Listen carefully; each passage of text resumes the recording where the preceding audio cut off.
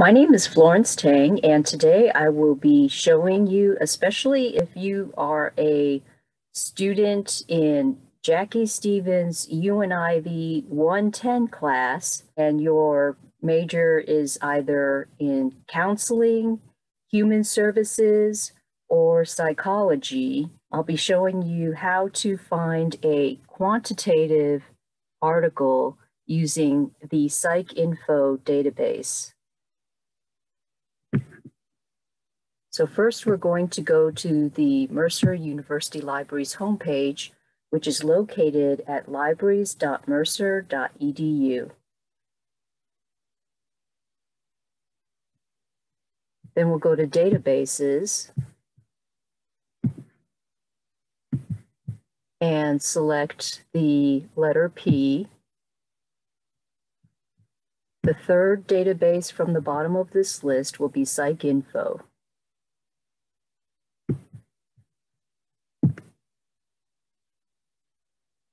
If you are accessing the database from off campus, it will ask for your username, which in your case will be your eight digit MUID number.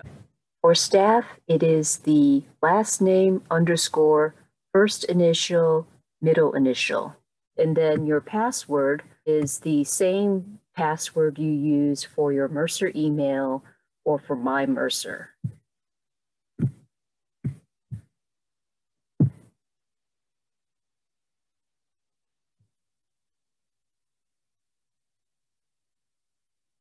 You'll see the PsycInfo advanced search screen.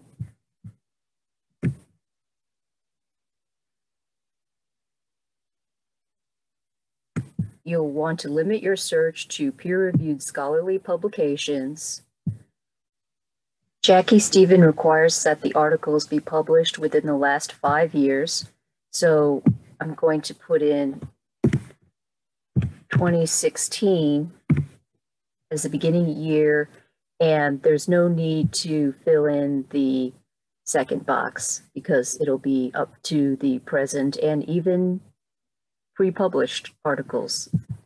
And we want to limit our search to only articles published in the English language. If your topic was specifically about, say, adolescents or seniors, etc., you could limit your search by age group. And then under methodology,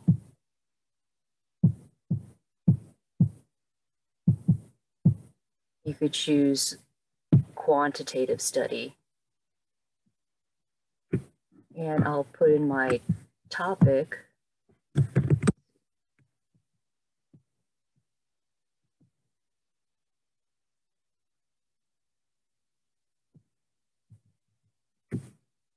Here's my result list of 440 articles.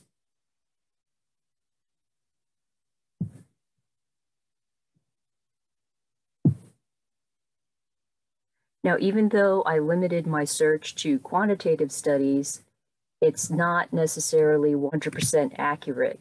For example, there could be articles where they reference a, another quantitative study as opposed to saying that this particular study is a quantitative study and that's why the database picks it up as quantitative study, even though they were only referring to another study being a quantitative study. But in this case, it appears that they're testing a scale, a questionnaire. Many studies that have questionnaires are quantitative studies, not all, but many of them are.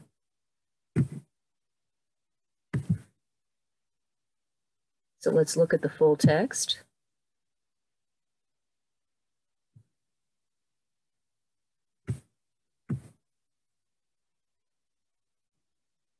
And you can see that there's a table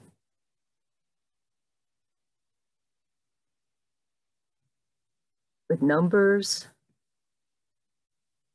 As part of your assignment, you would still need to talk with a math tutor to find out whether this really is a quantitative study, but to me, it looks very much like it is one. Let's go back to the result list by clicking on result list instead of the back button as you would if you were merely surfing the internet.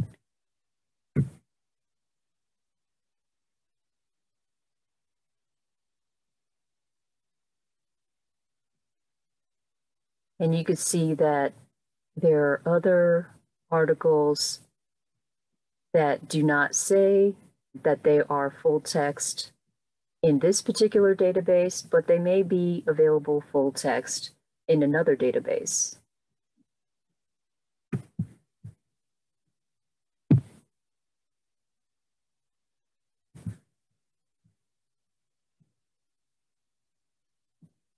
You can click on Find Full Text next to this orange icon with the picture of the Mercer bear.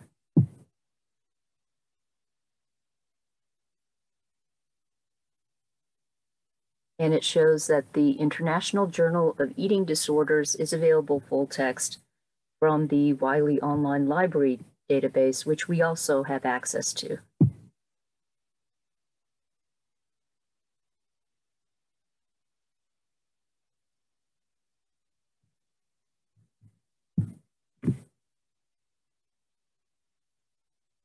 And here's the full text of that article that was not available full text in PsycInfo, but is available in another database that you have access to through the Mercer libraries.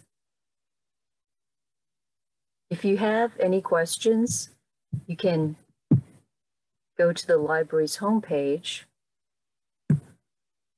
or just to the top right corner of any webpage on libraries.mercer.edu and click on Ask a Librarian.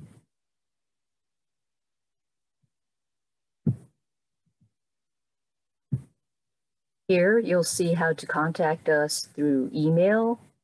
You can chat with the librarian on duty synchronously online. You can enter the Ask a Librarian Zoom room